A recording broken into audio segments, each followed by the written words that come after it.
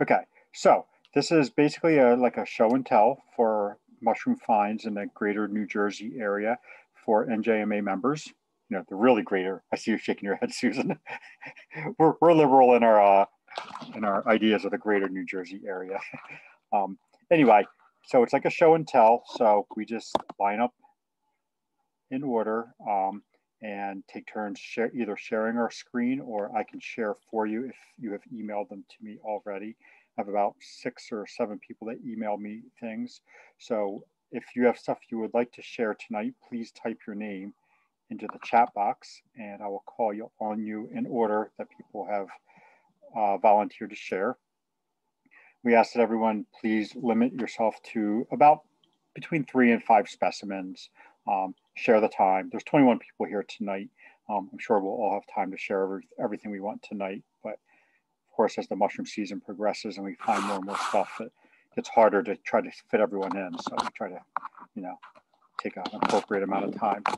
So I think that's everything I had to say to start with. Oh, if somebody could type the names into the chat box, that would be very helpful to everyone to be able to see the names of the mushrooms that we are talking about. So is there anybody that would like to start sharing your screen?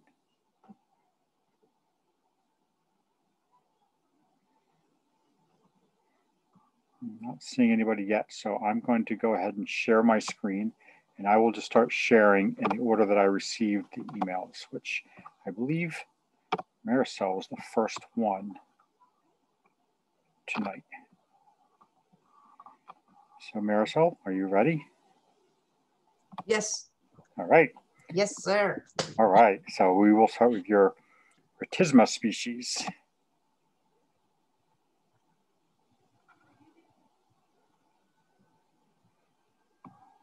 So genus Rhytisma.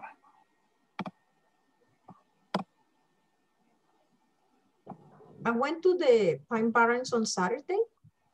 Mm, and I'm always uh, floor level ground level. So when I was turning some logs, when I saw this on a leaf, and I, I have found this before, um, and there were so many leaves with it. And because it was in at the edge of a swamp, it was opened, as you can see on the photo. When it is not open, it's all black, but it has some ridges. When it's wet, it reveals the fertile part that looks like some kind of dessert, some kind of jelly stuff. Um, the only thing that I know is the um, Rhytisma acerina, but it doesn't seem to be, they don't accept that in iNaturalist because the host is not a maple or a poplar. This could be tupelo. So it's a Rhytisma, but because it happens on tupelo, I don't know which one it is. Mm. The spores are very strange and very big. They have one end is rounded and one end, end is pointy.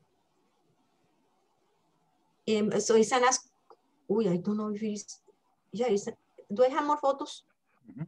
I did so many microscopy. Yeah, it's an ascomycete. Yeah, I, I didn't remember. It's an ascomycete as you can see in there. So I even got the base of it, the brown part of that photo is the base of the, this little thing is, the fruiting body is very small and not too thick. And the ascus is pointy and um, narrows towards the base, towards, towards the bottom. And I am not sure, I could not count how many spores are inside. The only thing that I could see is that they are wrinkled when they are inside the ascus. And there are some paraphyses, as you can see on this photo. And I also noticed when I was doing the micro that when the spores are coming out, they are kind of strangled. I do not know, I didn't read yet about it. If there is a little opening at the end of the ascus, so the spores kind of squeeze themselves out, as you can see on the left. And then they, they get a, a more plumpy shape when they are out.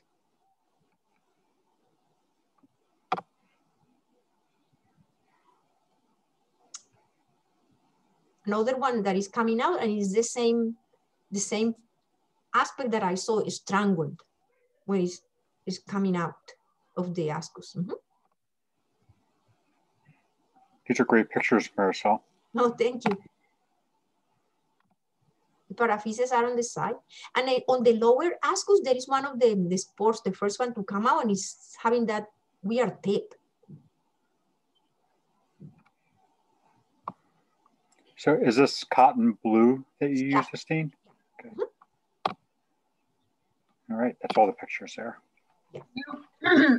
Remind me again what a, the paraphysis is. I'm drawing a blank on that. Yeah, it's this sterile uh, part that kind of keep structure uh, and they are along the basidia. They are parallel to the basidia. They are all together. The, the, uh, the structure the, of the body. Mm -hmm parallel to the asci. Yes, you're right. Mm -hmm. So. Oh yeah, say basidia. I'm so sorry. Thank you for the correction. Yes. Yes. So these, right? These are the uh, things we're talking about. Paraphysis. Paraphysis. These these lines that are kind of hard to say. I got a better picture in another one where you can see the paraphysis. Yeah, oh, there we right go. There. there. we go. In the middle. Yeah, yeah, that's one. Mm -hmm. There we go. Yep. Okay. All right. Thank you. All right, any more questions on this one? Okay, unknown polypore. I found this polypore very close to the where I found this phrygdisma, and I still don't know what it is. Um, it was hidden. Um, only one little portion, I don't even know how I saw it, just a little portion of it and then I moved the leaves and it was bigger than what I saw first. And it was growing at the base of a dead tree that, and I don't know what tree was that because I can't tell the tree's gone. And, but there are maples and pine trees just right there in that exact point, spot, I'm sorry. And it has some kind of pink tinge um, to the pores. It has one to three pores per millimeter and they look like irregular, you can see there. And um, it has an, uh, a cap that is, you can poke it with your nail. It was soft. Um, it was zonated. Can you, do I have more photos so you can show? Oh, I got the spores in water. They're kind of globose or subglobose with a drop. And um, I put it in Melzer too, and they became yellowish. I, I don't know too much about the reactions yet, but I'm trying. Can you show the next photo with the Melzer? Yeah, they became yellowish. But I don't know if that means they are hyaline or they are not. I have no idea. Change a little bit.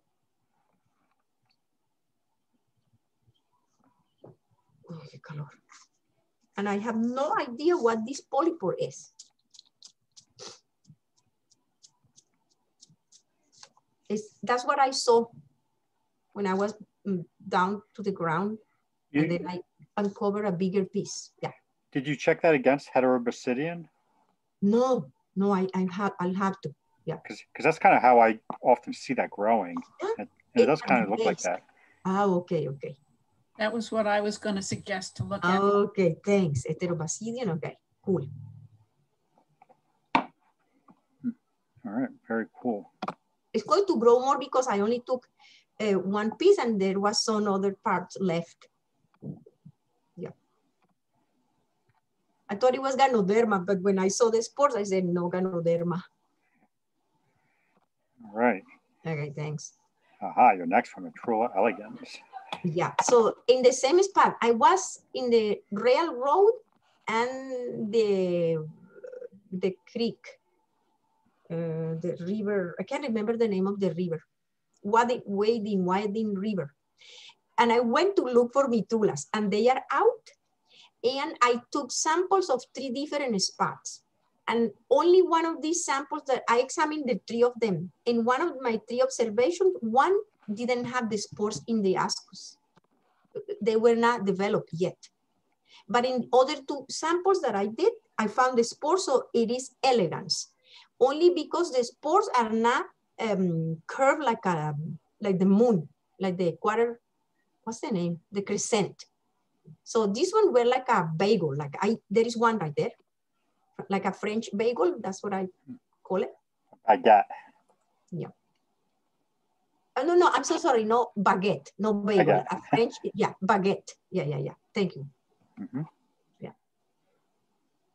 Mm, mm, Perhaps because it's the beginning of the season. Um, later, within few months or maybe weeks, they grow so big and fat. The the heads of the mitrula. Last year we found so many of them, and some of them were huge. All right, ah. you're- you're saying like the, the this orange part will become really elongated, right? Yes, like a dry raisin. Bigger than a dry raisin and it looked kind of wrinkly. And, and mitrulas grow always where there is a low running body of water. So they can grow in a seepage in the side of a swamp. That's where we find them there. I find them in Smithville in a seepage.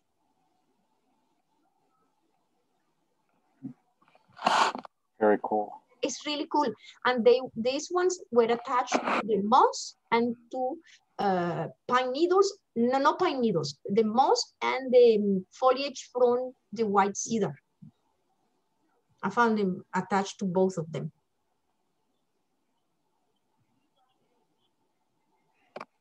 That would be worth a trip down to the Pine Barrens just to see them. Yup.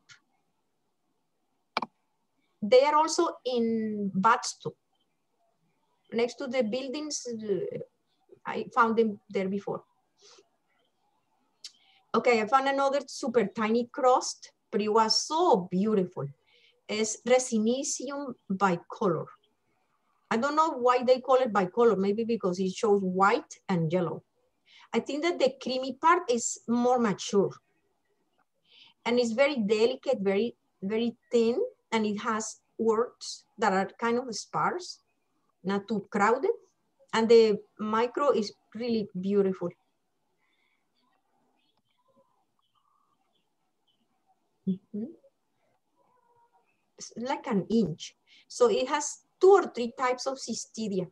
This is called halocystidia, although in this photo, this, the minerals or the incrustations are absent. But I, I was happy because here you can see how is the, the whole structure of the, the cystidia. You will see mm, some with the mineral. Here the mineral concentration is almost in the middle, it's almost invisible. At the middle, you see some kind of yellowish halo thing. That one.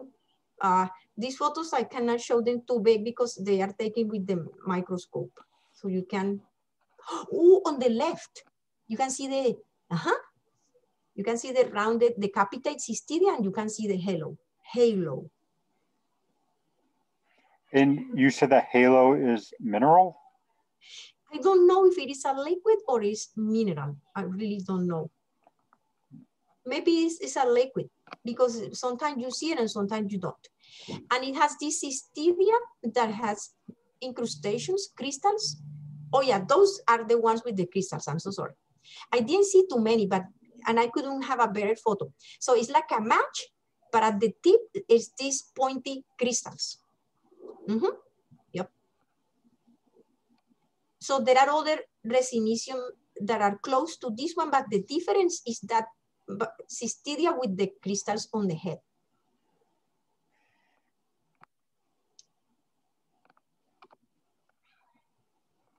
So this is almost like the tip of one of the teeth. It has like fingers like cystidia at the tip and it has this beautiful halocystidia and I think it's leptocystidia, the one with the crystals. Oh, that's the tip of the aculeus, as they call it. I couldn't focus. I tried to do the best focus I could be, but that was the best. I couldn't. Some are blurry and so not, not too clear. And I got two spores. And the, the apiculus is really prominent. I, could, I can show you better than that, but I saw that.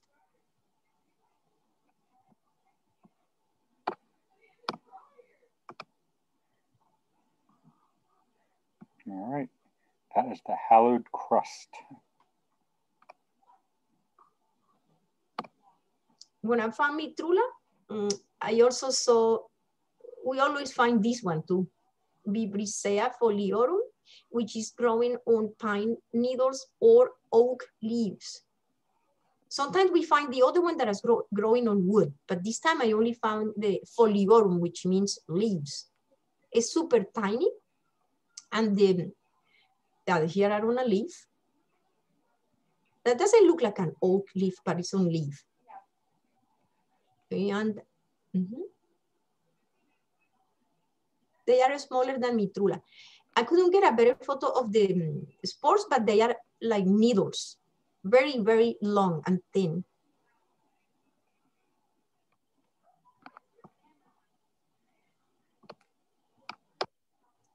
Very cool. Mm -hmm. All right. Thanks, okay. Marcel. Thank you.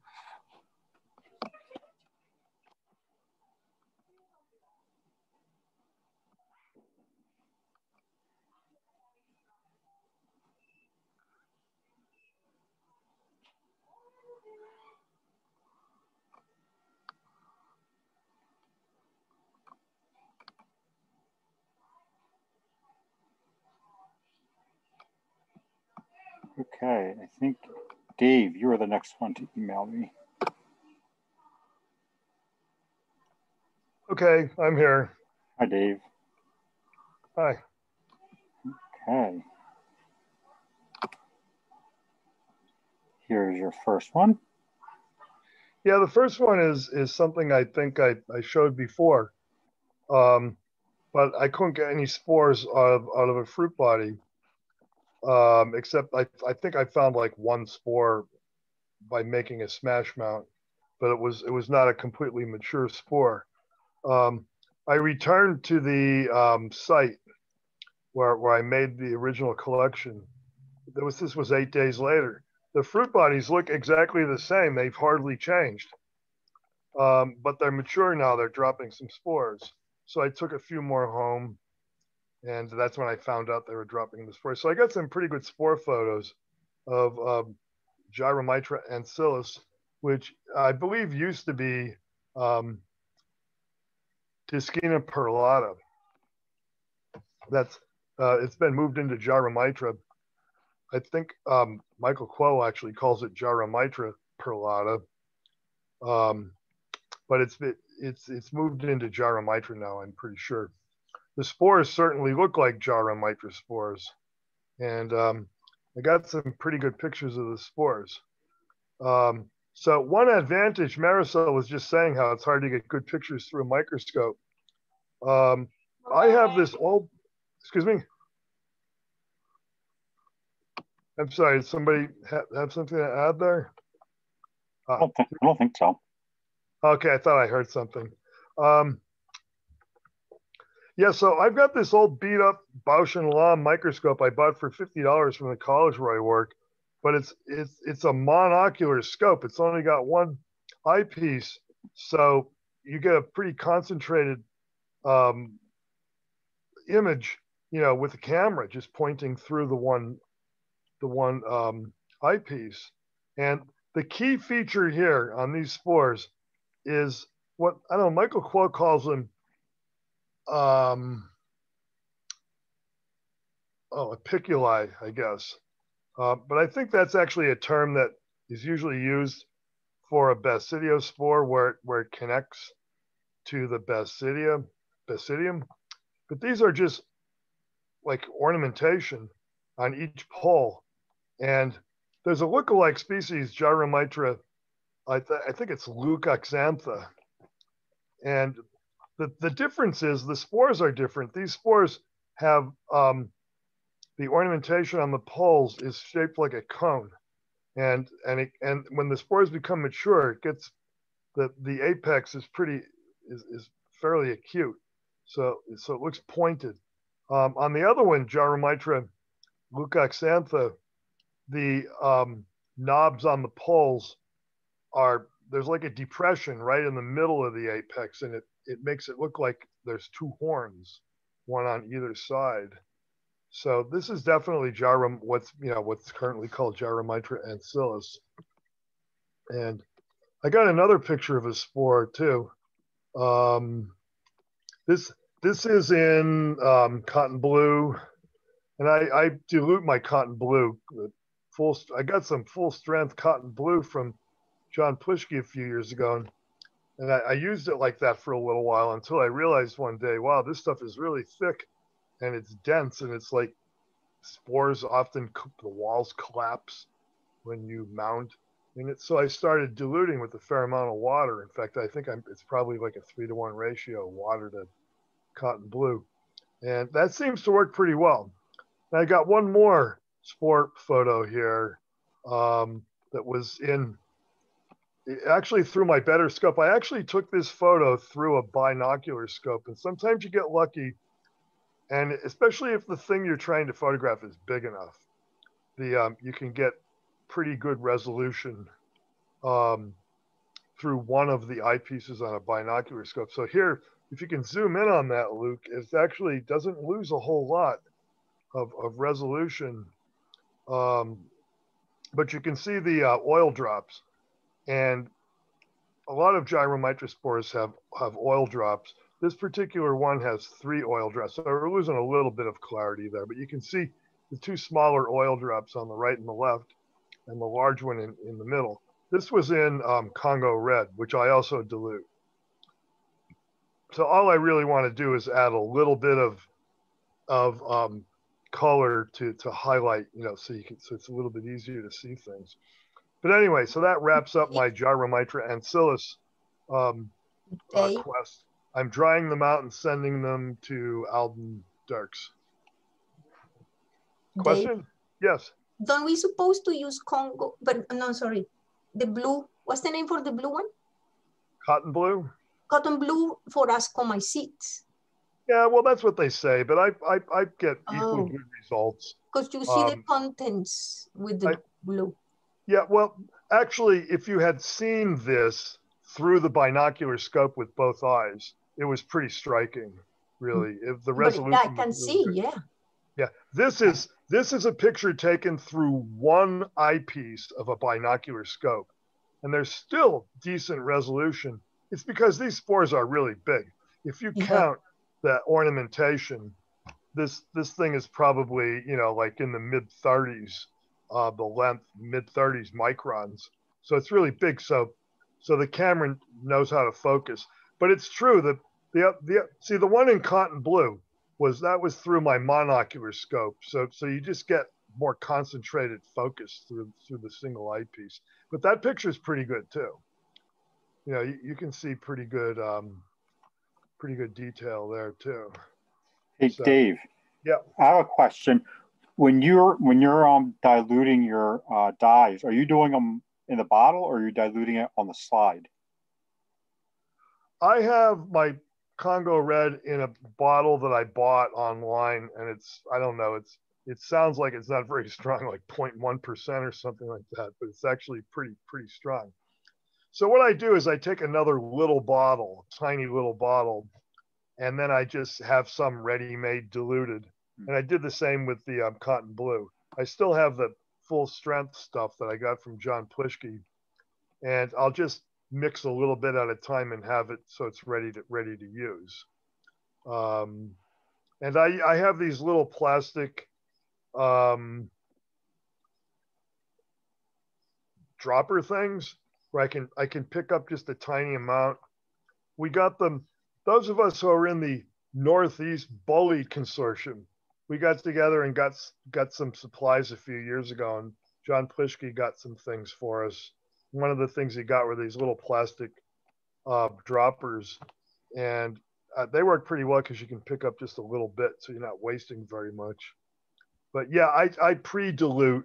I don't dilute right on the slide. That's too much work. And then and then if you're putting two drops of something on a slide, then you end up with too much liquid and you have to blot a little bit off, which I thought was probably a bad practice until I talked to um, uh, Rich Kerrigan, Rick Kerrigan one one day online, and he told me actually that you know that's fine that he does that too. You know, if you get too much liquid in, in amount that you're you're trying to make. Oh, cool! Look, Mushroom Observer has their new logo up. Yeah, they got a new logo. It's a yeah, pretty cool logo. And what we're ta- I heard the overheard the conversation before about Mushroom Observer versus INAT, the advantage to iNat is you can load pictures in the field off, off a phone, which makes no difference to me because I don't even have a phone. Uh, phones don't work in my house. I have no no cell phone reception at my house, so I, I just use a camera. I would rather take a whole bunch of pictures in the field and put them on my computer anyway, and then sort through them and pick out what the ones I think that are good. And Mushroom Observer, you can upload as many photos as you want. I've got observations with like a dozen or more photos. So this is pretty cool.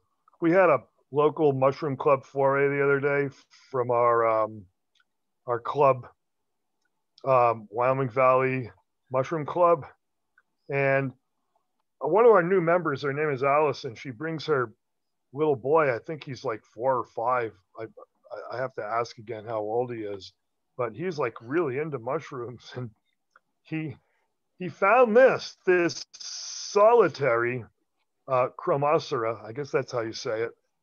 Um, uh, the the species name is there. It's a it's another tongue twister. Uh, but I found these more mature than this one. And once they get a little bit older, they lose a lot of this purple. Um, they retain some of the purple usually on the gills. And I've actually collected this species in pretty much the exact same spot where this was found. And, and it got sent to, um, oh, what's her name? Um, Jean Lodge. I think Jean Lodge.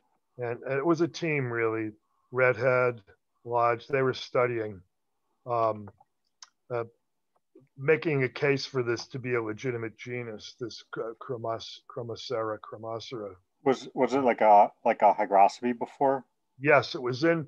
It, it was it was it used to be a hygrocybe, I guess, but it grows on wood. Yeah, I think most of the hygrocybes are mycorrhizal, and this thing is pretty clearly a saprobe. It, it grows on logs, mossy logs. Uh, but that's the, the one of the nicest examples I've seen of a really young one that um, that hasn't really expanded and lost its color yet. And it was just one tiny fruit body. The cap must have been, you know, maybe a half a centimeter wide, something like that. And this little um, Seamus, Seamus Casey, he he finds all these little things, and boy, it's fun having him on a foray. Except every time I get a few steps down the trail, he's back about 20 yards calling me because he found some some like you know ganoderma or something right? Which is fine. But um um he he spotted this little thing. So that was that was a pretty good find i thought. It's not a rare species or anything but it's it's a nice example of, of a really young one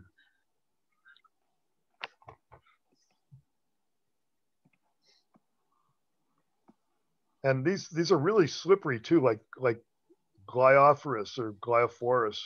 You, you know how you can hardly pick them up um, because they're so slippery. This this was like that too. When these guys get a little older, they're not really like that because I, I have found older specimens also. So I think I I think I have another thing that I sent in. Yes. Shall. Oh yeah, this um this morel. Um, so every year I, I I make this like three hour drive down to Maryland because I know this well good good morel spot is good good in quotes because it varies by year. Uh, this year I found like eight. so but it's a nice area. It's really nice tulip poplar woods. It's nice walking. There's a friend who I meet down there and we go and look for look for morels. But this is a pretty good example, I think, of um, Morchella sceptriformis, which is like it's like a big um, diminutiva, and it's it doesn't have so much of a conical cap as it does uh, like an egg shaped. They describe it as an egg shaped cap, and that really does look pretty egg shaped to me. It's a little bit bigger than diminutiva usually as well. The um, the pits are, are arranged pretty similarly to a diminutiva. They're kind of um, vertically elongated for the most part. Um, so it's a species that you I think you could probably find it in New Jersey. Um, I think I found it here in PA in a particularly warm uh, south-facing ridge in, in tulip poplar woods, but it's mostly associated with the southeast, Virginia, um, North Carolina, maybe even a little further south than that. And that's where that's where the documented finds have been made. And of course, to really be sure with something like this, you have to have it sequenced. So this is one of the species names that comes out of um, that those two competing studies, the Kuo et al. and the Clowez et al. And I think Clowez won this one. This is a Clowez species, I believe. I think Kuo had, Kuo had named this thing Morchella virginiana because uh, it's it's they found a lot of it in Virginia. But um, did you eat it? I dried it out. Ah. It's it's so, um to sequence or to eat. Uh, I'll probably just eat it. It's it's not a rare species or anything, and I'm not going to pay the money to have it sequenced unless you know, you know, it's kind of a slippery slope with this sequencing thing. You know, I don't want to drain my retirement fund, you know, because I get, you know, pretty much wanting to sequence everything that comes through my hands. Um, but yeah, but this would probably be a reasonably good candidate um, to submit. I think it's still upstairs in the room where, where my dryer is. I, I think it's still in the dryer actually. I, I, hung it. Actually, you know what? I hung it in a in a window for a few days, and I know when you do that, when I do that with uh, some amanitas, that's not a good idea. If they dry too slowly, you don't get good um, good sequencing data out of them. So, but yeah, I've I've got this. You know, it's it's it's still upstairs in the attic. So. All right, very cool. Thank you, Dave. Okay. I also found a whole bunch of big yellow morels in my elm spot yesterday, but we'll probably see some more morels. So we all know what Morchella americana looks like. It's it's pretty much. I see it's on the queue here anyway. Yeah, so. I got one right there. Yep. All right. So yeah, I, I got I got like 84 of them yesterday in my elm spot. So I have to drive about 45 miles, but it's a really good spot. Okay, that's it. Thanks. Cool. Thanks, Dave. All right, I have a couple here. This is one I found the other day. And let's see. Garrett Taylor said it was Psathyrella And then Bethany called it Candolleomyces candolleanus. I don't know this mushroom very well, but it was really small. It was really young. So I didn't know the Candolleomyces used to be Psathyrella candolleana. Right. They created a new genus, um, and there's not many species in it. And uh, this could be a, I'm not sure though that that's kind of robust for for that. But anyway, go ahead. Yeah, well, it was very small. This was only about an inch and a half tall, so it, it looks stouter than it really is. I think. And you can okay. see the the gills on it are pure white right now, so it probably wasn't even dropping any spores. So, but it does look like a Psathyrella, doesn't it? Yeah, it's it's either a currently something in Psathyrella or or um, you know, or maybe it is one of these um, Candolleomyces things. Uh, I don't think there's many species put into Candolleomyces yet, um, uh, other than Candolleomyces candolleana. Um, but there's also like in the spring you have um, what is it? Uh, Psathyrella pseudoverna, um, Psathyrella blah blah blah griseus. Um, I forget the full name of that one, but there's a there's a few different Psathyrellas that you get during morel season. Hmm. Yeah, I should have done something with it. it. It dried out on me before I really got around to looking at it very closely.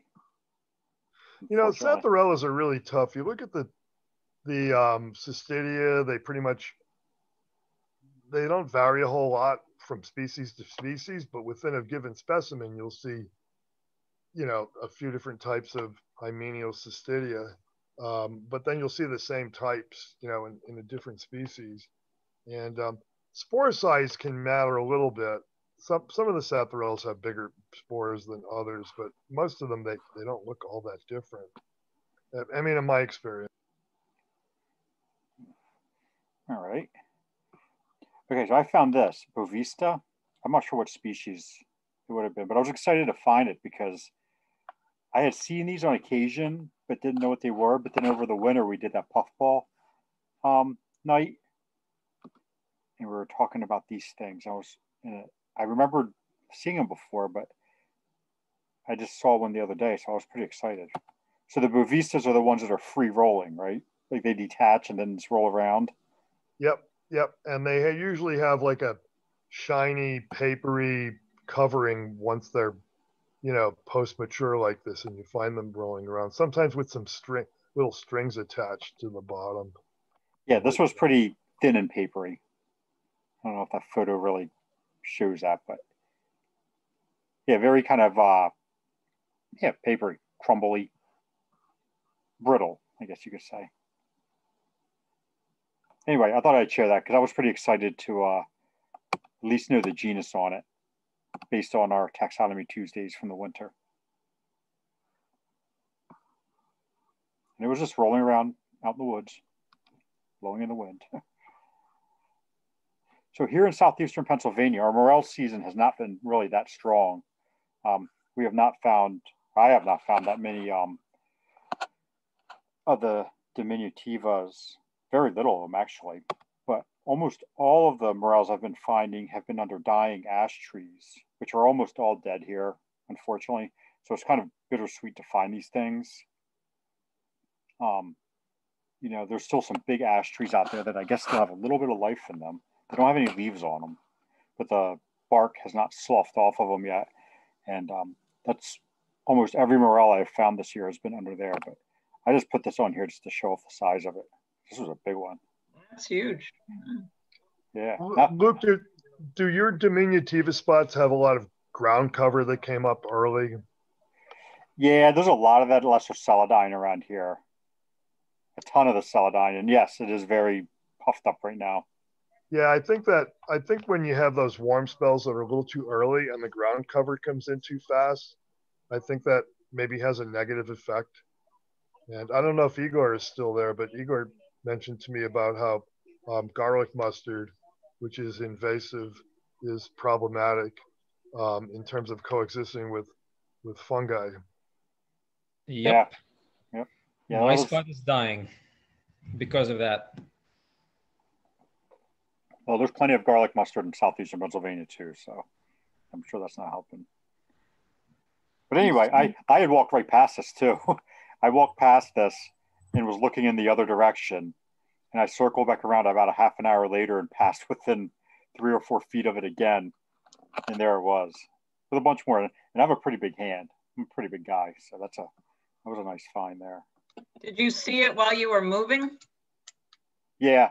Yeah. I was looking over, I saw the dead tree and I looked at the, and I, you know, as soon as I see the dead tree, I start scanning the ground close to it. And I mean, it was sticking out like a sore thumb, this one. It was just, I had literally walked within like six feet of it about half an hour earlier, but was looking in the other direction. Yeah. So, okay, this thing, I don't know what it is. I gotta be honest with you, I haven't been very seriously mushrooming much this year. I just have had really between work and home stuff. So I didn't even do anything with it, but it was on the underside of a log. It was very small. That's my palm that they're sitting in. You see the lines in my hand. So these things are a centimeter or two across. And there are these, these little gilled caps. I don't know, maybe like some kind of crepidotus growing on hardwood. Uh, so I guess you didn't figure out the spore print color. No, again, I let them dry out. They, I put them in my tackle box and didn't get to them, and they were so dried out. By the time I got back to them, they were pretty much gone. If, if you can scope some some gill material, you might be able to at least confirm or eliminate Hohenbuehelia, which generally has No color will be wrong. Well, don't the Hohenbuehelia, don't they sometimes have the jagged gills? But the color,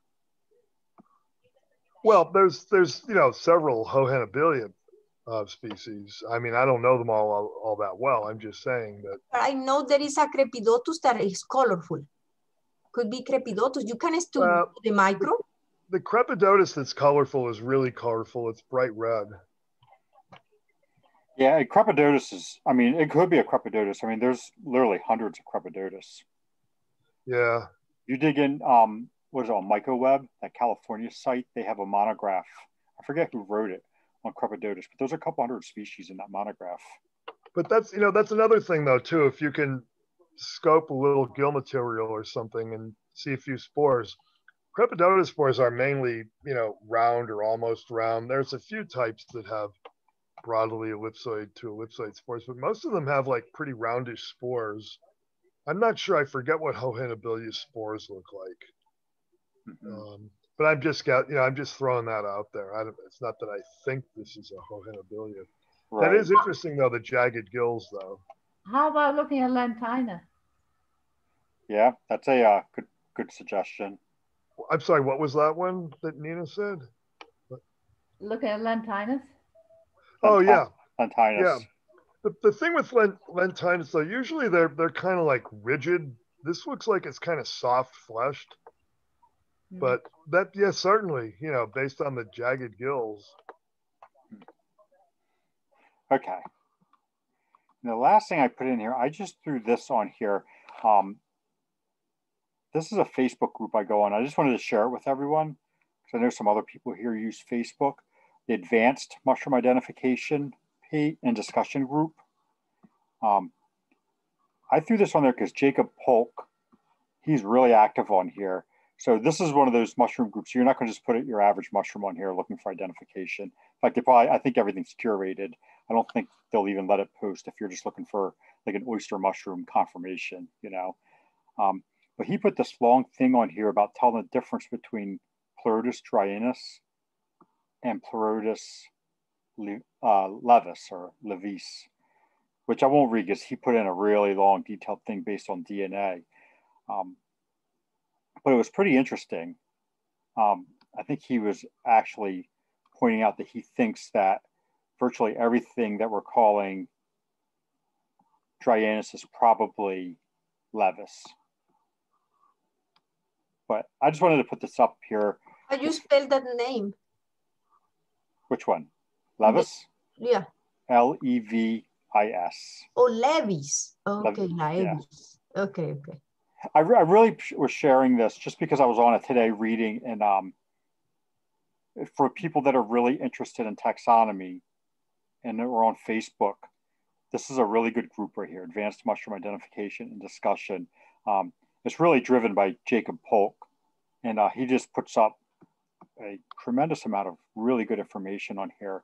Um, he just put up something about um, Des Armillaria now being really confirmed as, uh, or at least more and more accepted by taxonomists in general. You know, there's been the argument for years whether Des Armillaria is le- like a legitimate genus or if it should just all be Armillaria.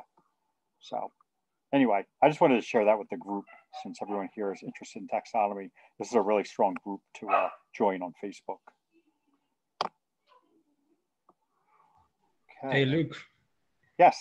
You want you might want to mention that there's been another development uh, regarding one well-known species of a mushroom. It's a Psathyrella delineata. It's no longer that. I think it's called uh, Typhrasa gossypina, which is European species. Oh, yeah. Yep, it's on MO too. It's been deprecated. The species. Yeah, so we don't have uh, Psathyrella delineata is not a real name anymore. It's a uh, it's a ghost. Because the real species name is Typhrasa gossypina, which is a European thing. So Yeah, ours is the same as the European. Yep. Yeah, it's a, it's a saprobe, so it's not, you know, real hard to believe, I guess.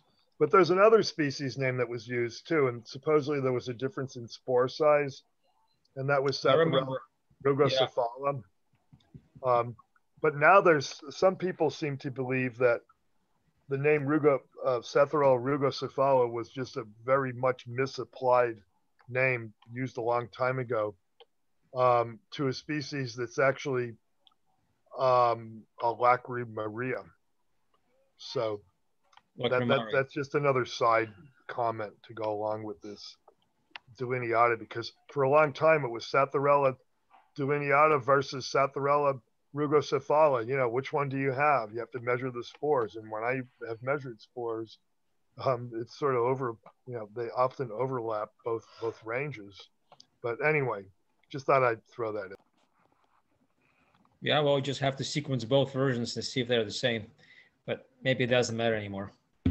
Well, I, as you sometimes say, Igor, I think with this um, supposed Psathyrella rugocephala, um, somebody would have to go back and sequence the type specimen, you know, to see exactly what what had been documented back then, because that's that's the hypothesis is that it was just completely misplaced, um, or or the, it was it was compared to Delineata when it really should have been compared to um, Lacrimaria lacrimabunda, which was a Psathyrella back back a long time ago. That was what Psathyrella. Oh, I forget the old species name for that thing. Well, I thought that Lacrimaria or lacrimabunda was a very different mushroom, unless my perception of it is wrong. Well, yeah, it seems it seems like there should not have been a mix-up because it really doesn't. They don't they don't look all that much alike. But apparently there is a Lacrimaria, not Lacrimabunda, but a different one that's smaller and has a wrinkled cap. So um, that's there's been some discussion about that on Mushroom Observer. I don't I don't know if anything's been resolved there. But like you often say, somebody would have to go back and sequence the type specimen. That's right. That's where the uh, key to the mysteries are. And uh, just have to throw some money at the problem and hopefully going to solve it. Yep. Okay, so I have this one from Dorothy, which I, I'm not sure that she's here tonight. If you're here, Dorothy, just interrupt me. Um, she said, this is her story. She said she found lots of Auricularia polytricha on branches in her yard after the rain. She saw something different on a big piece of dead elm bark on the ground. It had a wrinkled shape. When she searched the searched online, she found mushroom experts' description of A. americana, but that's on conifer.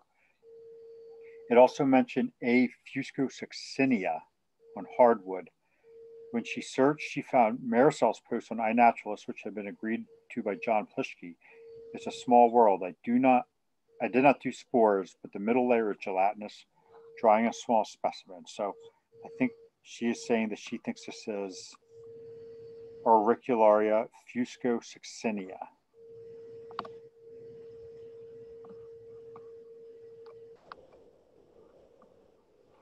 So it does look a little different than most stuff we see, huh?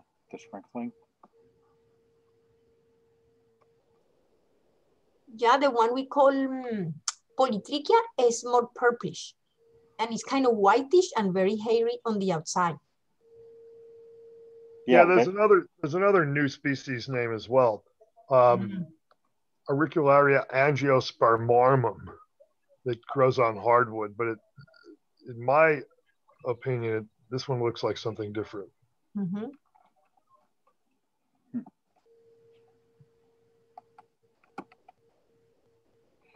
Yeah, interesting. Cool.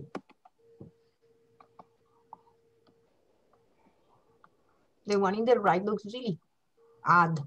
Yes, that one. Yep, yep. The underside, huh? Mm -hmm. All right, so. Cool. I want to look at that name again. What's the name? It's right here, auricula, auricularia. Oh, Fuscosuccinea. Okay. Fuscosuccinea.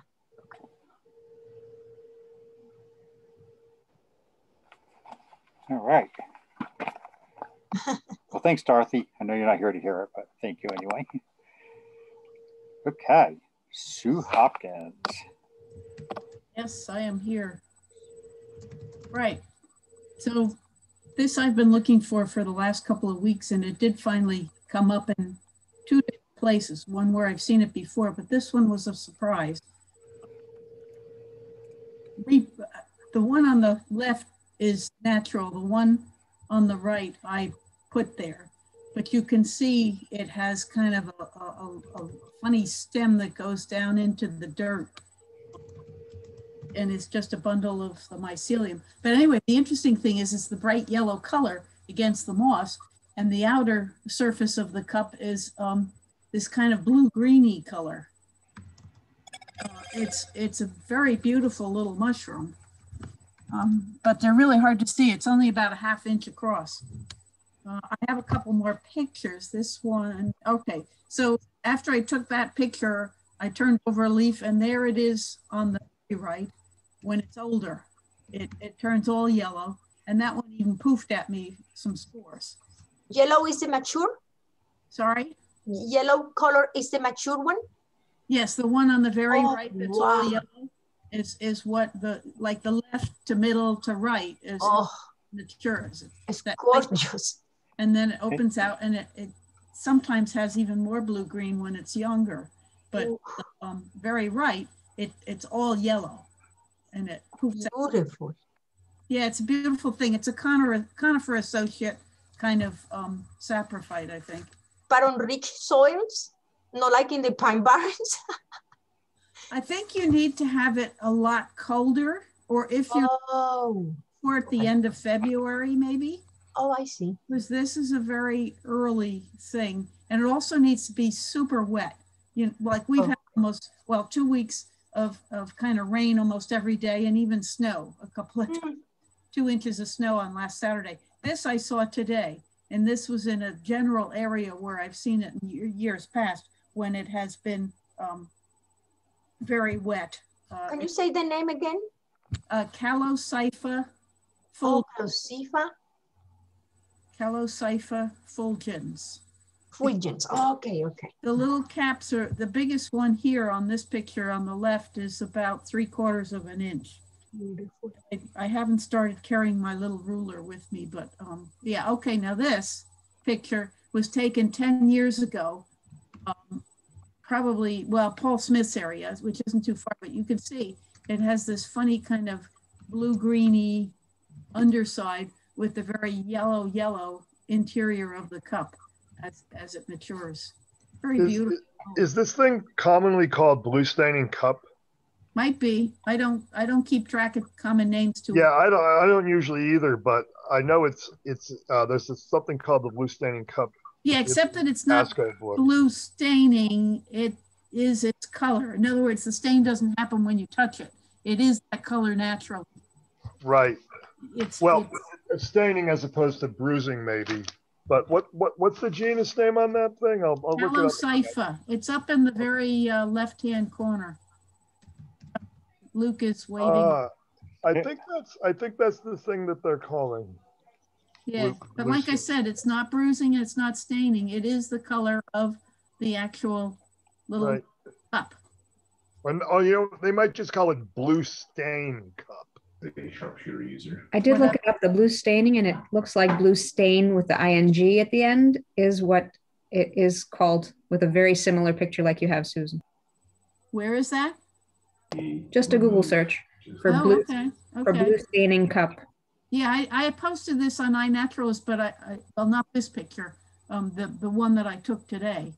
Um, but I don't know is anybody, I don't know if, you know, anybody made a suggestion. I actually didn't look to see if, if they called it a, um, common name at all. I'm sure they did. They do on iNaturalist, which is kind of annoying. Okay, so that's one thing that I saw today.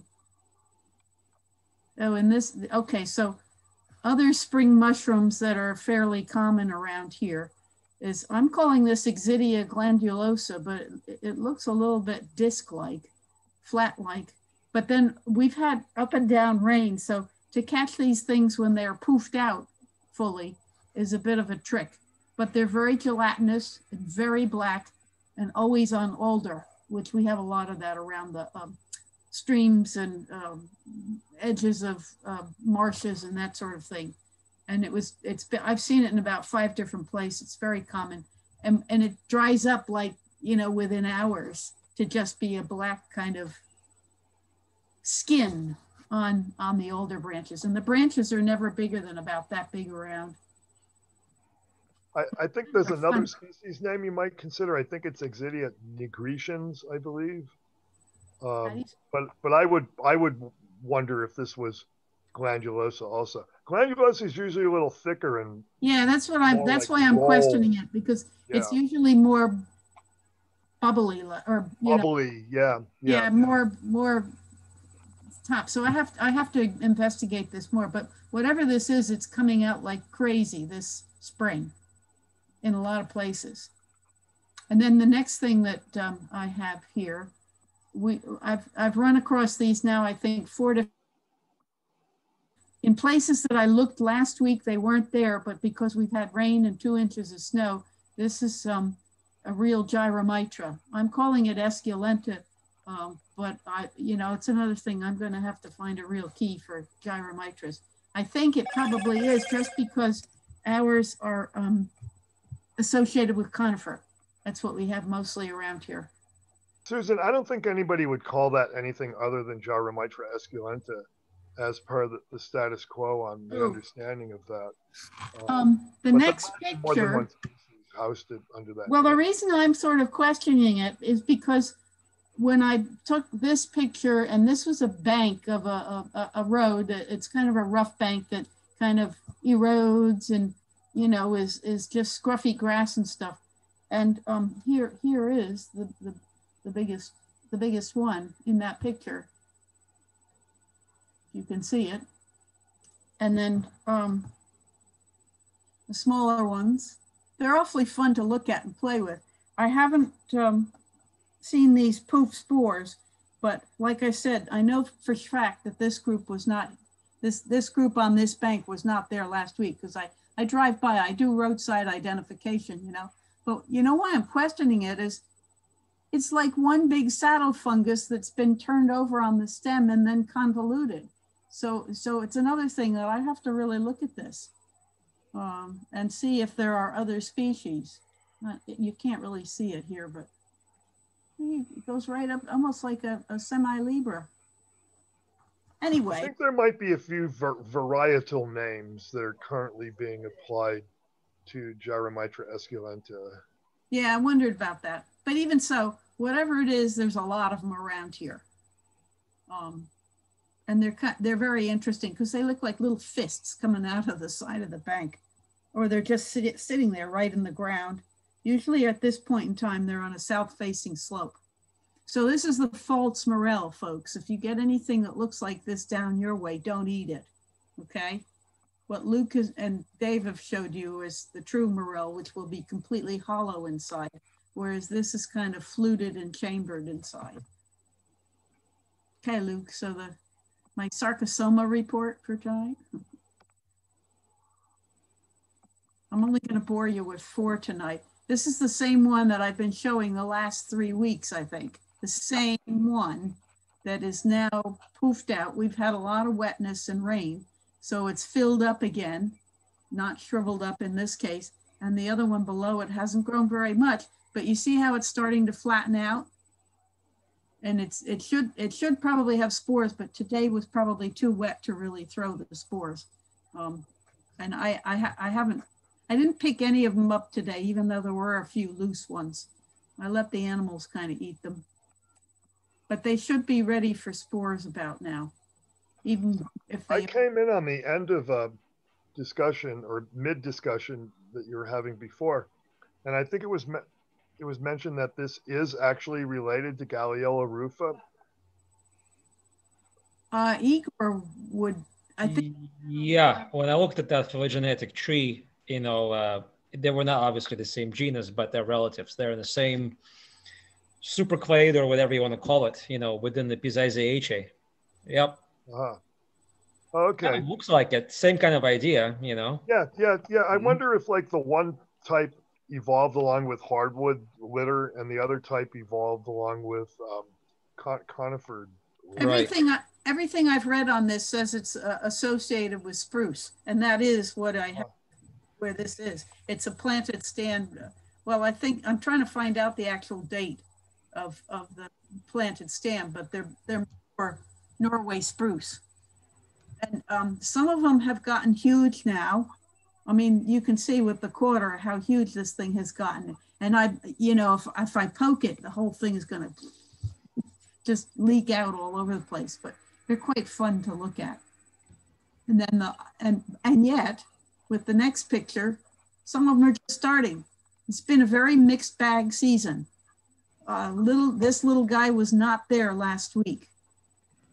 Um, and there were several others that I saw today. In one spot, I think I had, um, last week I had like 84. And in this, today I saw 106, including this little guy. So it's been quite fun. I think right now they're at their maximum growing.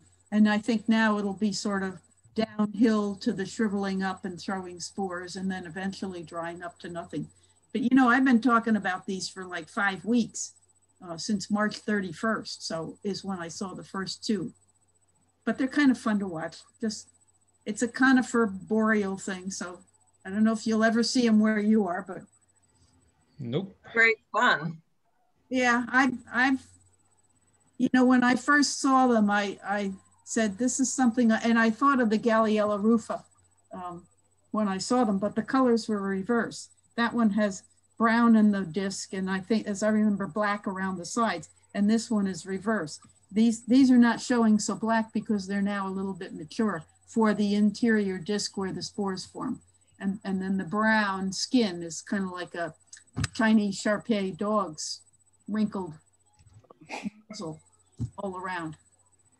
So anyway, they're a lot of fun. Awesome. Thanks for the report, So. Yep, yep. Okay, Virginia.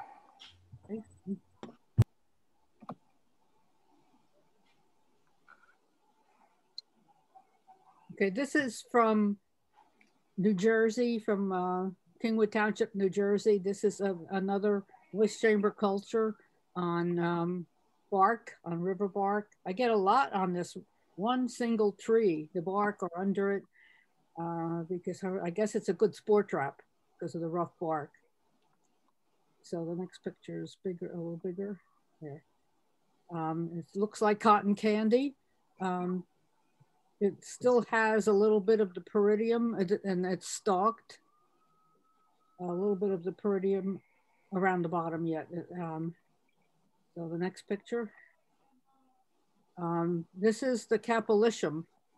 If you if you zoom in a little, um, you can see that it has what are called rings and half rings and cogs all around. It's very decorated capillitium. And the spores are just smooth and um, colorless mostly.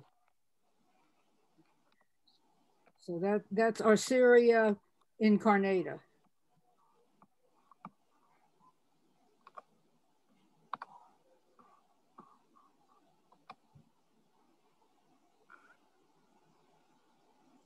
Okay, this is from the same place in Kingwood Township. Now this is a uh, moist chamber culture, and this is um, a plasmodium that's growing uh, actually across the paper on the bottom. It's a white plasmodium. Um, and so the, ne the next, um, my next one shows the um, fruiting body. Just the one picture here. So this is Arcyria cinerea. It's yeah, Arcyria cinerea. Um, it, it's in the, it'll be in the next picture, or the next um, observation.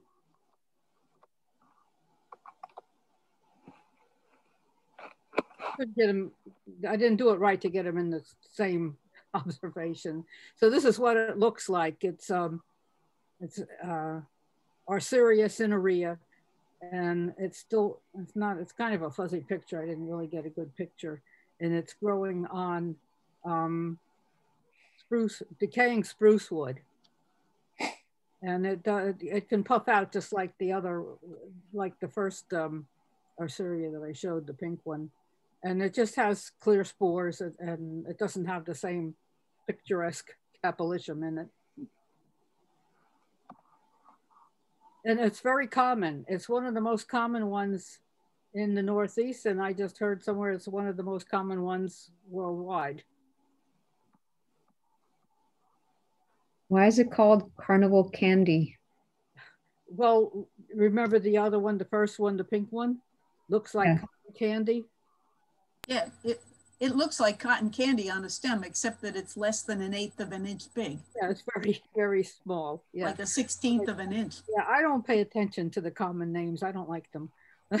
but it does, No, Fun especially, to, fun to look at with a hand lens, if you get the last stage of it. yeah, yeah, when they puff out. Um, they do look like cotton candy. Have Have you tried photographing through a loop? No, I just do it on the um, the uh, microscope. Yeah, sometimes sometimes that photographing through a loop works. Uh huh. Sometimes it does, and sometimes it doesn't. But you know, if you have a loop handy, it might be worth a try. Uh huh. Sometimes I can get better photos. I don't know. That one was pretty fuzzy, not very clear. Well, really little stuff like that. It's it's you have to be kind of lucky, I think. Okay, now this one I have no, absolutely no idea what it is, but it was in another um, moist culture, and it was acting like a slime mold. The way this is, this is on the plastic side of the container. It crawled up the container, the fruit, and they're just a little globular, dark, almost black um, bumps. Um, so, but when I uh, put it on a slide, it didn't look like a, um, a slime mold anymore. it has, um, uh, these have septum in it. They have septa and they have tiny, like lemon shaped spores, clear, that are only about three microns long, which is too really kind of small for a slime mold. So it's uh, it's a fungus, I guess, but I have no, I don't have any idea what it is. And the brown is might have been uh, the peridium or whatever it's called in a fungus. So I just put it on there because it it was in my moist uh, chamber culture and acting. It was acting like a like a slime mold right there when it climbed up the uh, side of the um, container. It's interesting that you still got at the fruit, though. That what? I said it's interesting that you still were able to get it to fruit. Yeah. Huh? Are you still watching it? Oh, it's done. That's it's dry. Okay, uh, okay, so what you showed was the last stage. Yes. Mhm. I don't uh, I don't know what it looked like before because I don't sometimes they sit there for a week or two and I don't look at them every day. Um, there was actually there was another slime mold in the same container and there was a plasmodium, um, but the plasmodium wouldn't have anything to do with this uh, thing that looks like a fungus. I don't think it. The plasmodium might have been for the other slime mold. So I just put it in there, but I don't usually, I don't know anything about fungi really. Great. Well, thank you, Virginia. All right. So that is it for what I have that people emailed me. So we are back to open forum. Does anybody have anything they would like to share? Ah, Bianca. Hi, Luke. Yeah, I've got a couple from today. Uh, hold on just one second. All right, let's see. So I'm uh, walking in a park that I found that blue one uh, before in. The name escapes me at the moment. Uh, it was like blue jean color. The heterobasidian. Yeah. Right. Uh, and I found, I'll go in order of finds, so I'll just do this one. Let me show it.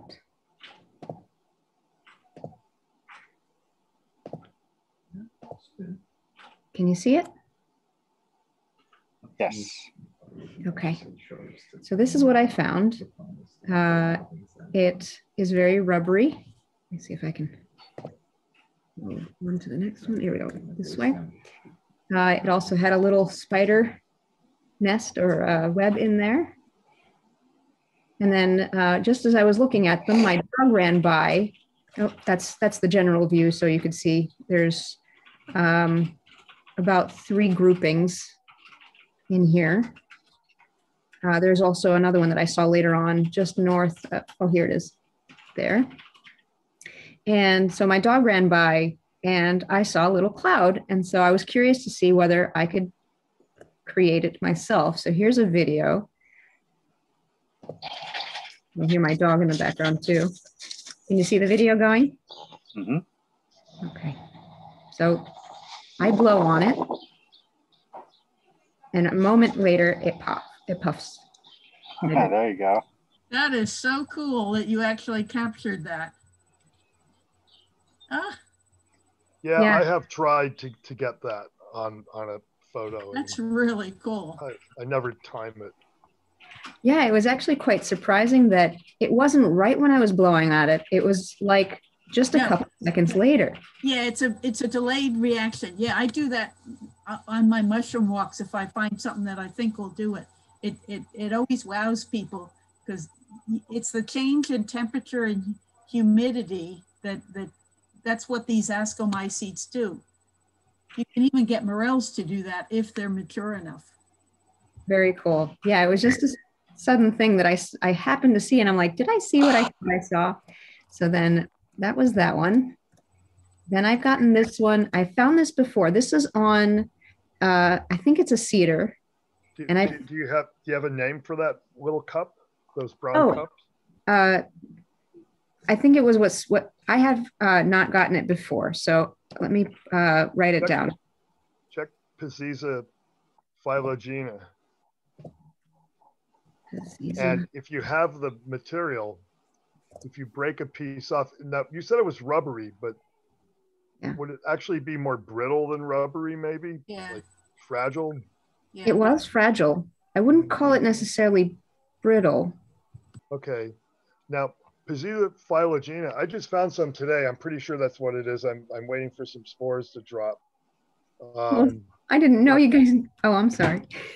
I would have grabbed this one. It would have been perfect. oh well. Yeah, but it's if you break a piece off of Peziza phyllogena, I'm pretty sure it's phyllogena that you will see at least a strip inside the context that's purple. So like the Ah. interior context is purple, and sometimes the bottom where where it breaks off, the point of attachment breaks off. Sometimes that'll look purple. I'm gonna, I'm gonna write that down so I don't forget. I think that's phyllogena that does that. I'm pretty sure. On the underside where it goes into the substrate, right? Yeah, where it's uh, it's not really a Yeah, stock, yeah, but it's just a point yeah. of attachment. So when you break it off, you're actually breaking off and seeing some of the interior context, and and and it might phyllogena will often look a little purple, and that's like the most common little brown cup of of spring. Okay. Yeah, there were a bunch, so I- I can go back. I know where I found that.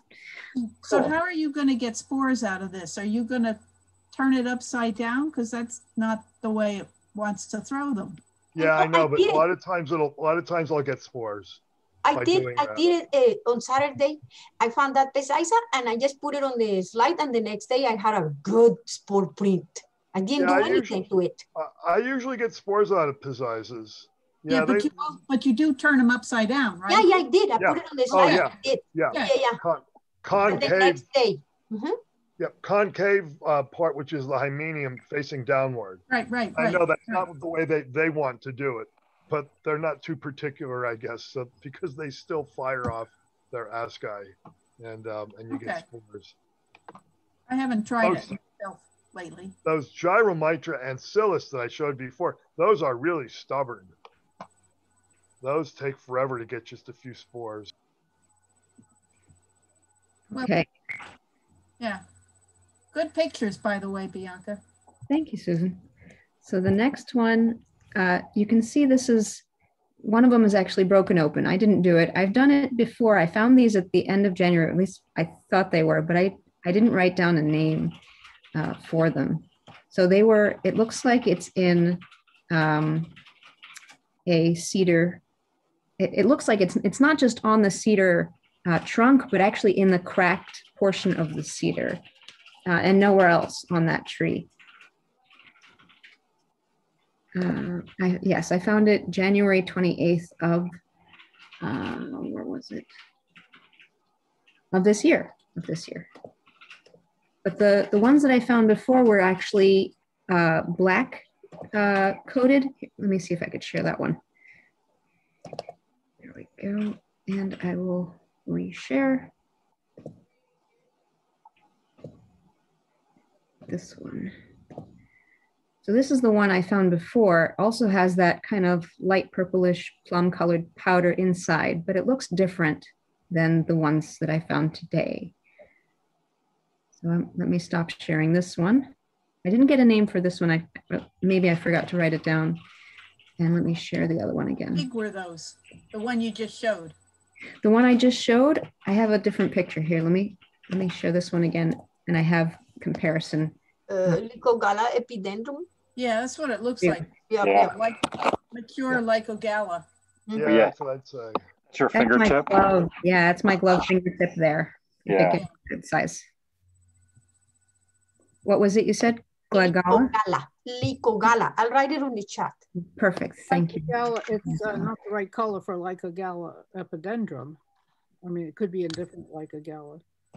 Oh, okay. Lycogala. I mean, I'm You don't think even when it's old and exploded? All right, so let me stop share on this. Sometimes they, they burn with the cold and the color changes. It could, that, yeah, it could be. Yeah, I hadn't seen those. All right, so these these don't have that same dark coloration, but and it also all of them have this little kind of like a crack in them, whereas the other ones didn't. But I kind of forced the crack on the previous one to see on the inside. So I don't know, maybe these are older. Well, it's probably unlikely that they were growing now, so you may have, they may have sort of started to grow before the freeze came or matured to this point and maybe froze. Now they're throwing it, uh, they're thawing out and then now they're able to let go of their spores. Is that likely? That's very possible. I'm curious, actually. Um, let, let me go back to the other one, and I don't remember what it was on. Oh no, it looks like the same type of substrate, but it was it was also growing out of like the cracks. So that's curious. Maybe it is the same type. Anyway, Um, slime molds grow inside the wood.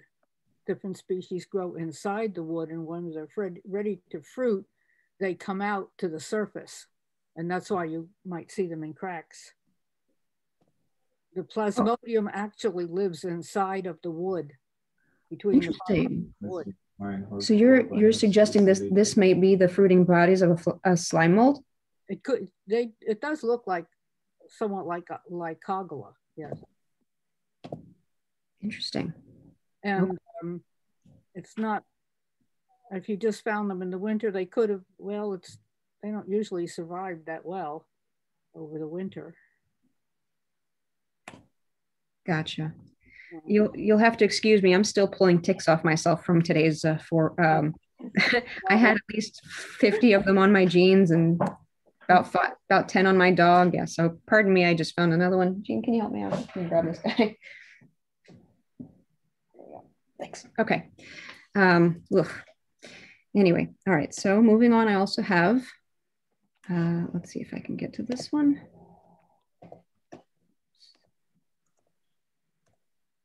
Um, let me stop share. It'll be easier that way.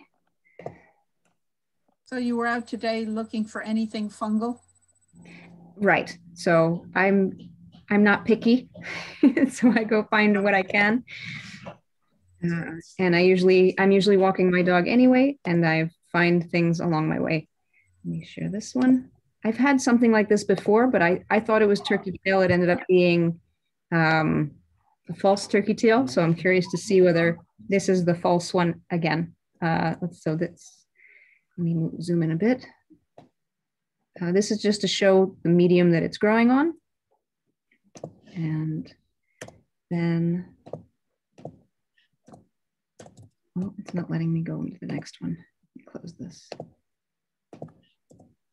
Oh, it's still not letting me. Oops.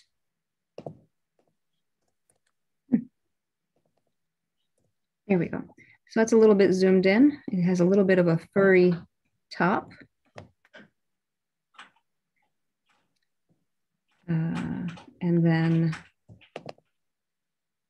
this is the underside with our little bug friend. Lenzites or Trametes betulina. There you go. Yep, Trametes betulina. So this this- be lenzites. Yep. And see, it could be several things until you turn it over, the gill polypore. Um, in books, Yep. it would be Lenzites, but like Dave says, I think it's Trametes now. Yeah, they put it in Trametes. Yep. Right, Trametes. But you probably find just as much information on it if you search lenzites. Lenzites. They're pretty much phonetic with a Z, with a. Z in there. Thank you. The ID. Yes, got it. Okay, great. And um, what my great greatest surprise for this evening was this find. So you'll see on the right, it's a very decayed tree. I wish I could tell you what it was, um, but I found a good bounty of these. So it doesn't show as well, but there's a light peach color on the outside. It has almost like a skin tone. Now this shows a little better, has a nice, almost like a floral touch, but I was surprised to find it's a polypore. So And they see. look fresh. they are fresh. They're rubbery, fresh, and I actually, I took one. So Yeah, just in they- case, They start up early. just in case That, if that you're gonna do something that, what is it?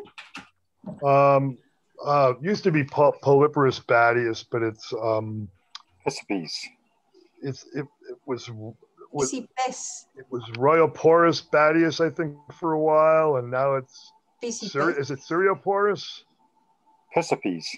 Or Oh, Picipes. Picipes, right? Picipes badius, Picipes badius. Yep, that's what it is. How do you They spell that? up you guys, you gonna put that in the chat? Yes, please. Yeah, I got Never it. even heard of that. Yes, so I have a couple more of those pictures of this. Uh, so it's this one, then uh, again from a top-down view of the multiples, different sizes, different ages, it seems. Uh, a couple of new ones over here on the top right.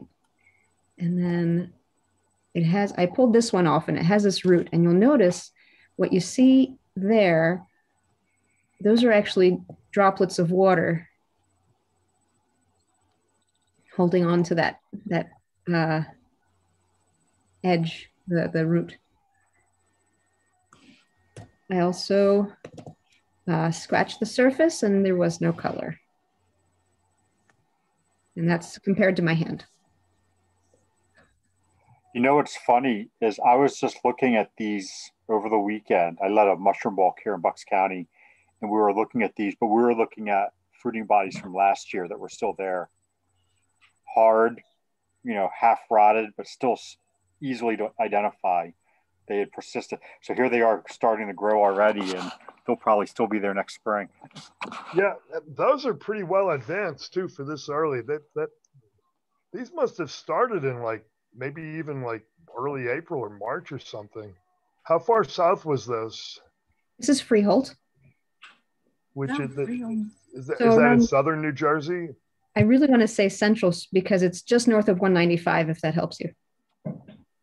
Um, well, kind of, I guess. I, I don't know Jersey all that well, really, but um, but that but at any rate, even if it was in southern Jersey, that would that's kind of um surprising to find them. This maybe maybe they started last fall, and went dormant over the winter and continued to grow. I wonder if they do that. But it's curious to see these really tiny ones up in the top right. Let me see if I can zoom in a bit. Yeah. Over here, yeah, these really tiny ones here. Oh, I see. Up in the upper right, by there's there's like a pair of them. Yes. Yeah. Oh, yeah.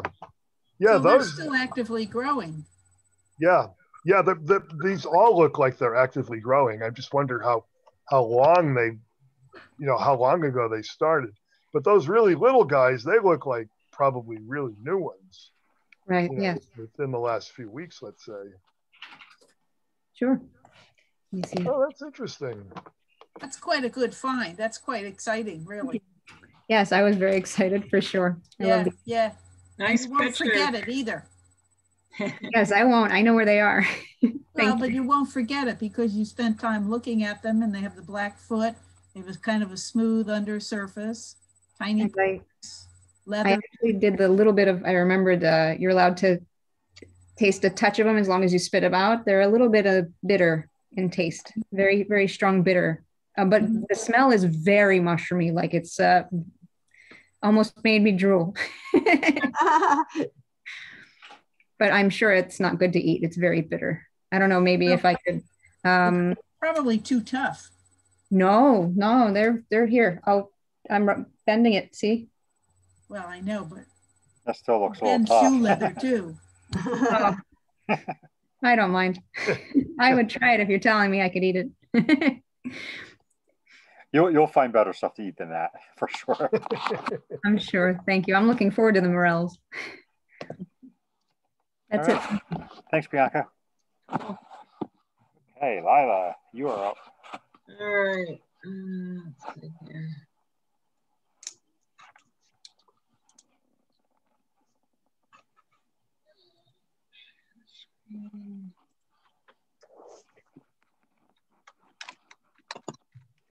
All right, so this one is actually not a mushroom, it's a slime mold. And I think it's the first time I've ever seen it was um, quite a silvery protrusion on the side of a well-decayed log. Um, and there are actually two of them, little, almost the size of a half dollar, maybe not quite that big. And very shiny silver color. And I went and touched the one on the right and it fell right off the log and it broke. And it's full of the spore mass, just looks like um,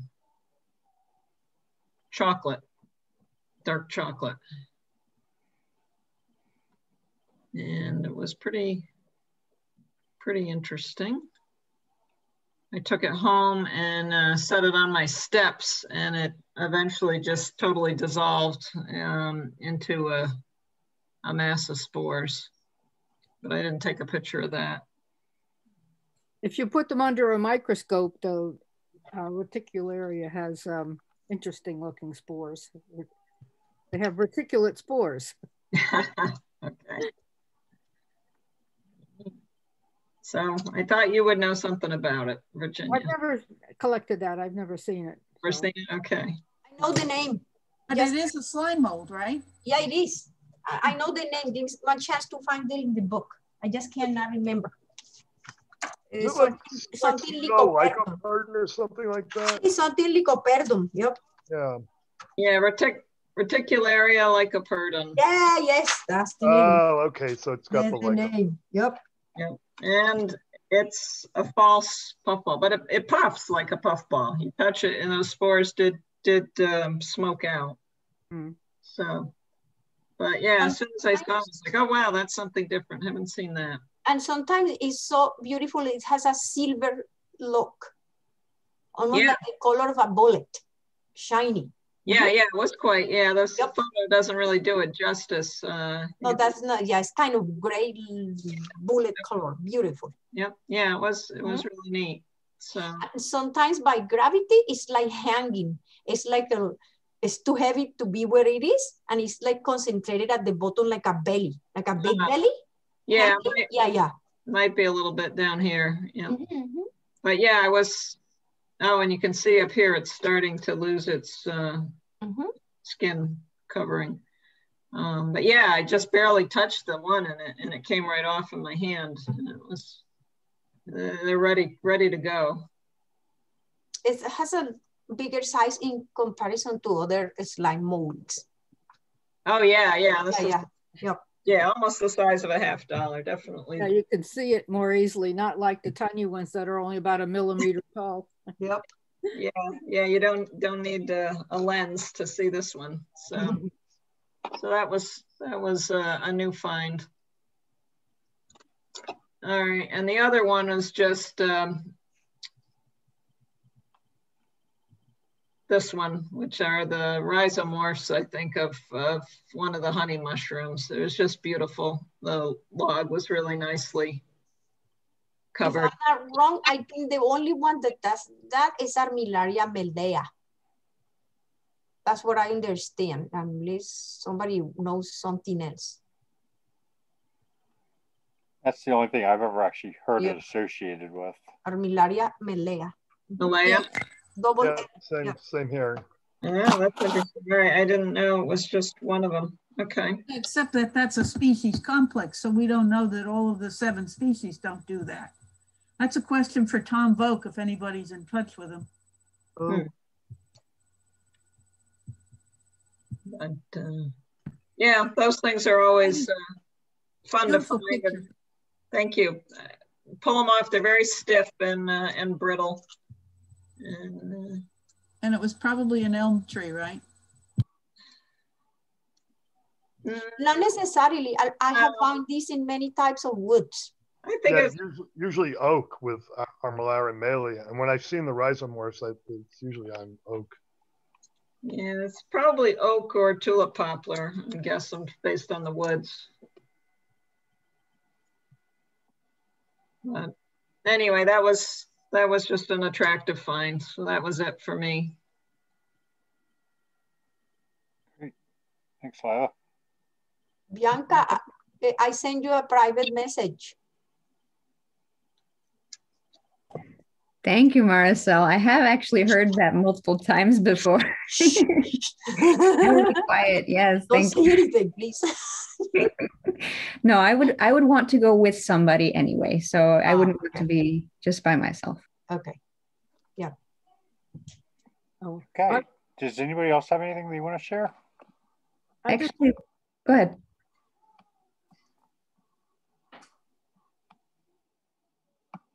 Somebody? I had one other uh, mushroom that I forgot to potentially show. It doesn't have as many pictures, but I think it is quite interesting. If you're interested. Yeah, go for it. Sure. Let me close this. And this one. Okay. And so the first one I will share. Where's the, oh. So the first picture is a small bud of what I'm going to show next. It was also on this same uh, log. Um, And the next one up, is two. this guy. Right. So you can see from the top Yep. And then underneath, it's not just a stem or not a direct connection to it, but it almost looks like a bulbous uh, attachment. Uh, and here's the in between. Cerioporus squamosus. Can someone chat me that, please? I forget AKA the dryad saddle or pheasant back. the Oh, I've heard of this before. So Mhm. glad- Or the old name Polyporus squamosus. And Cerioporus, did you guys say? Yeah, Stereopor.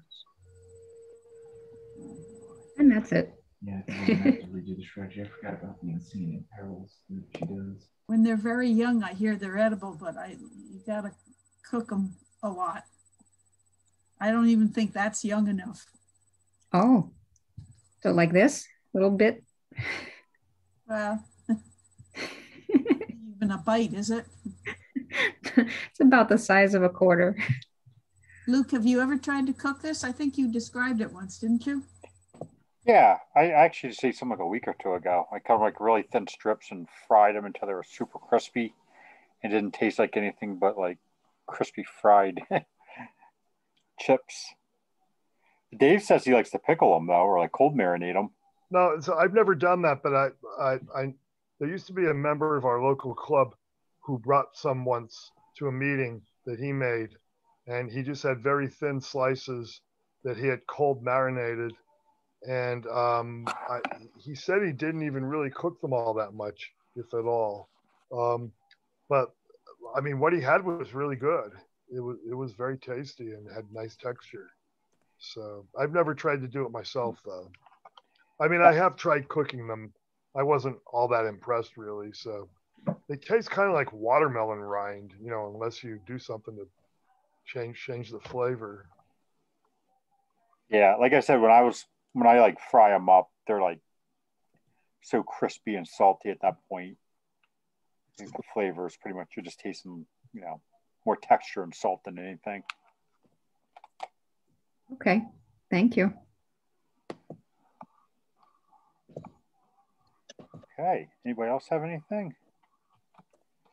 There was a lecture this Friday night. Anybody saw that? I'll pull the information up really quickly. Else's a really good mycologist, by the way. Yeah, she came out a couple of years ago, two or three years ago now, and did a uh, talk for us on conservation. That was a really good talk. So, yeah, Else Vellinga, who's a mycologist in California, and she's super active with all kinds of stuff in conservation and um, describing species. I think it says here she's described 22 species as new for California. Um, but she's doing a talk this Friday at 7 p.m. on fascinating spores, focus on spores, the role and life of a mushroom, and the correlations between spore characters and fungal lifestyles and dispersals, with an emphasis on all things that we don't know.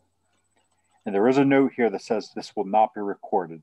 So that must be per her request that this is not being recorded. So if you want to see it, you have to tune in on Friday at 7. And I sent that out last night, uh, yesterday evening, the link for that. She she was lead mycologist at NEMF, I think 2012 maybe in East Stroudsburg. So. Oh yeah, I remember that. That was the first NEMF I went to, and I went to one of her talks, and it was uh, or I was in a talk. That's right, where she was conversing. I remember being impressed with her stuff. She also visited our club in 2009, I think, if anybody remembers. That was like eons ago.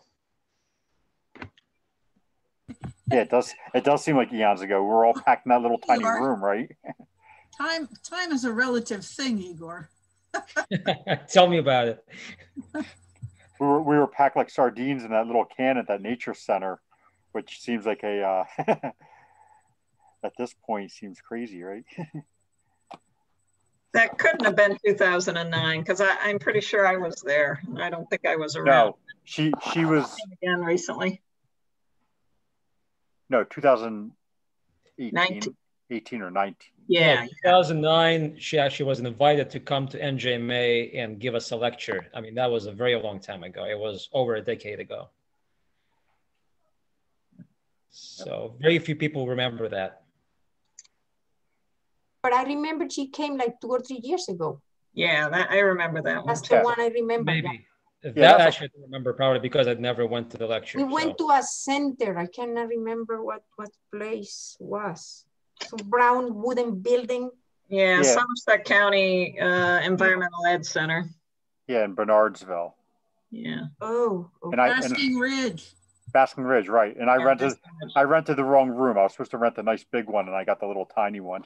No, but whatever, live and learn, right? it, it worked out. It, it was a good talk. That was, yeah. So anyway, she's speaking this Friday. Um, so if you can, you should definitely join in. Okay. Anybody else have anything they would like to uh, share or anything before we go? Before we go, actually, I wanted to ask, uh, last week you mentioned about uh, potential locations to offer. Uh, I wasn't sure where to put that, so I, I wrote in the text in the chat box uh, Turkey Swamp, but actually the place that I was today, even though it is tick filled, uh, it was quite like quite spacious, more spacious than I expected. And uh, in the summer, it would, I'm sure we'll have plenty of different types of mushrooms. So where would I offer that information? Um, well, is I, I can see John Burkhart is here. Is Nina with you, John? Oh yeah, I see Nina poking her head in there. She's the one who probably would want to know that information the most. Sure, Nina. So the place that I'm referring to is just north of Turkey Swamp. So Turkey Swamp is its own park and has trails, but the place that I was today was um, uh, just north of it. There's a big open field that looks like it's been mowed, but next to it is completely looks like uh, barely touched uh, by humans uh, space. And I followed a deer trail actually within it, or a hunter's trail. What town are you in, Bianca? Freehold. Oh, Freehold. Okay. And you use permethrin on your clothes and your shoes? I didn't today. I didn't expect to have such Oh a my bounty, but yes, I will definitely be using whether DEET or whatnot to prevent this. Uh, Turkey Swamp is in Jackson Township, isn't it? It is, yes. Oh, so so this Freehold's just next to it. to- The park you went to was in Freehold or Jackson Township? I guess it's just next to it. So it would be, I think, just north of Jackson Township or potentially just west of Freehold, if that helps. Okay. I could be more specific if you like. I can give you the uh, the marker for the parking lot in uh, coordinate form. Okay. Um, yeah. Uh, if okay. Uh, yeah, you'll have to get. Um, yeah, uh, uh, send it to. I guess you can send it to Luke, and then he'll send it to me. That would do okay. Is that okay, Luke? Yeah. I can put it in the chat now. I'm just going to find it real quick. Do that. Oh, okay.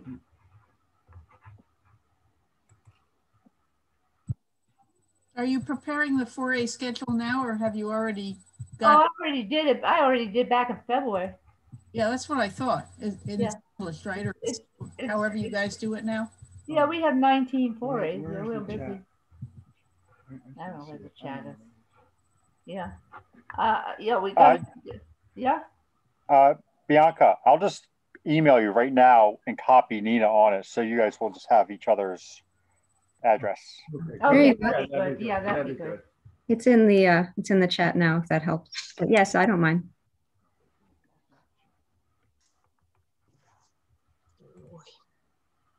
Okay. And it does look like Freehold Township. Okay. Oh, 40. Okay, I just emailed both of you in the same email. Oh, okay. Thank you. Was Okey-doke. about, uh, the trouble with a lot of places is you have to have enough parking. So, yeah. Yeah, this has a a parking. Uh, it's just a rock parking lot for maybe, and you could park in the grass also next to it. So it's it should have enough. I mean, for maybe like thirty cars. Oh, well, that's funny. It's called the Manasquan River Linear Park. Okay. Well, I'll, I'll check it out.